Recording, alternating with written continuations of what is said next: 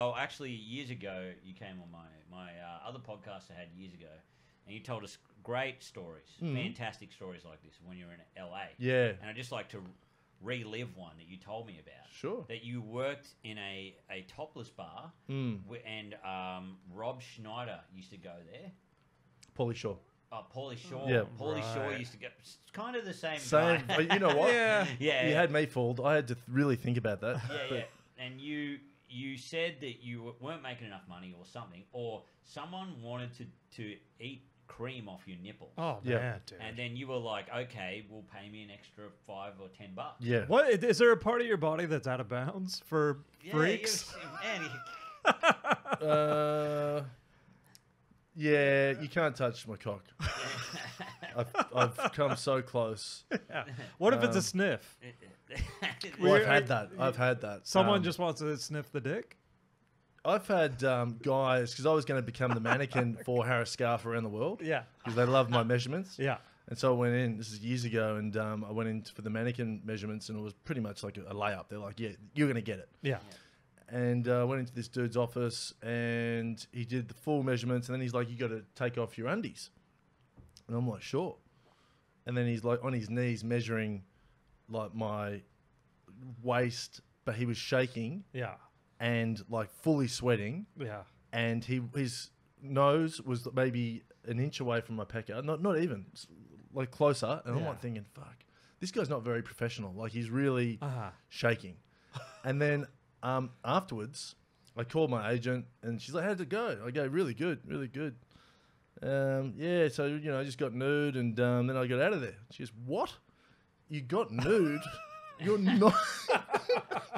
You're not meant to get nude. Yeah. yeah. That's not normal. Yeah. Did he tell you to get nude? I go, Yeah. He goes, Okay, I'll be calling him. Fuck. And I said, Don't, I want to become the mannequin. She goes, No, he's not allowed to do that.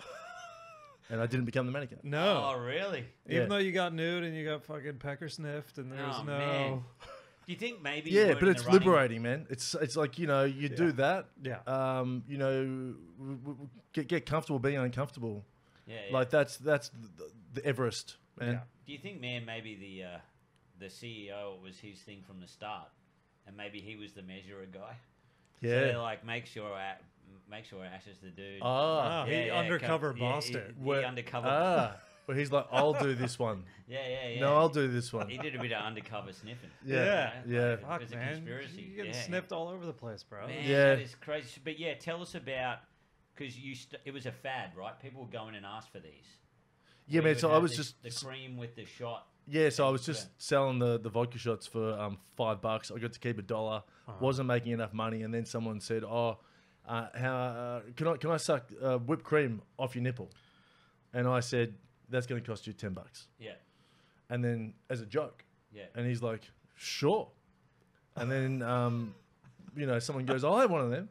Yeah. I'll, I'll make it, make it too. Hey, hey, hey, Mike, you want, you want, you want a, a nipple, nipple chaser? I'm like, that's a great name. Yep, nipple chasers are happening. Let's go.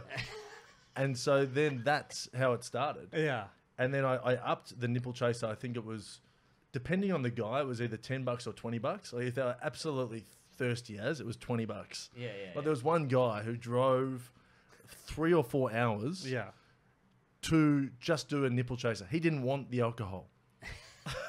he wasn't drinking. Yeah. He goes, I've, I've driven a long way. So was it a I'm- chaser? It was just a straight up nipple. straight up, Fuck. straight up cream on the nipple, and it was scaring me because I've never had anyone not Yeah. want the alcohol first. yeah. And so I said, "Oh, we're, we're out of cream tonight. I'm so sorry." And he goes, "That's okay." Um, so he went and bought cream Oh. From the supermarket. He comes back with the cream, and I'm like, "Fuck, I'm gonna have to do it." So I just did twenty bucks. Oh man, that's great.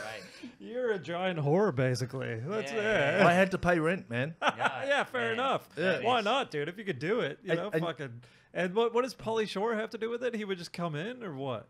Pauly Shore. Um, it's a long story, but basically, I was um, at the gym, and then he came into the gym one time, and he said, "Are you busy?" I said, "No." He said, "Come outside. I'm filming a documentary on my life, and my best friend hasn't turned up. Yeah. Will you play my best friend?" I said, Yeah. "Fucking oath, bro." So we start talking, and um, he's like, "Just talk to me like uh, you're my best friend." I'm like, "Cool." So, Oh, so he's that's like, so funny, man. he goes, You're in the gym. Pauly Shore walks in and goes, "Can you be my best friend in Yeah. the documentary?" That is. I don't know so what's good. more embarrassing though. There's having some freak, uh, you know, lick cream off your nipple, or being Pauly Shore's best friend.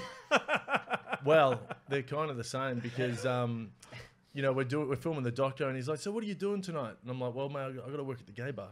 And he's like, "What?" And I go, "I work at a gay bar." He goes, "Do you?" I'm like, "Can't. Like, you're meant to be my best friend. You, you should know that." And so then he's like, "We're coming down to film at the gay bar tonight." yeah. And so Pauly Shore rocks up. The guy's on the microphone going, you know, sirens, bing, bing, bing, Pauly Shore in the house. Yeah. And it's like, I'm like, well, he's my best friend. He's here to film me.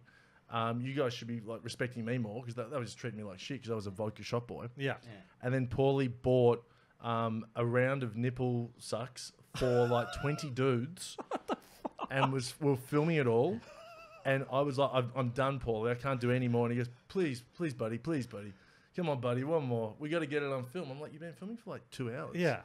And I did like three or four more. I made serious bank that Yeah. night. Yeah. Yeah. And then um, the next morning, I went to the comedy store.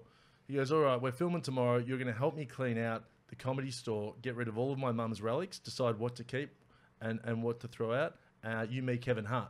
Remember, you're my best friend. And I go, Yeah, of course.